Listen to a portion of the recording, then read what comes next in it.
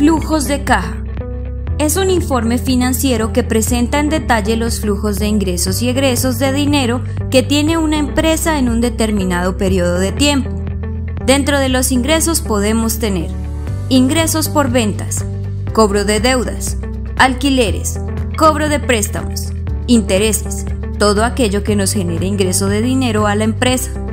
Dentro de los egresos podemos tener pagos de facturas, impuestos, salarios, préstamos solicitados, intereses, amortizaciones, servicios públicos, etc. Todo lo que genere salida de dinero. La diferencia entre los ingresos y los egresos se conoce como saldo o flujo neto. Por lo tanto, constituye un importante indicador de la liquidez de la empresa.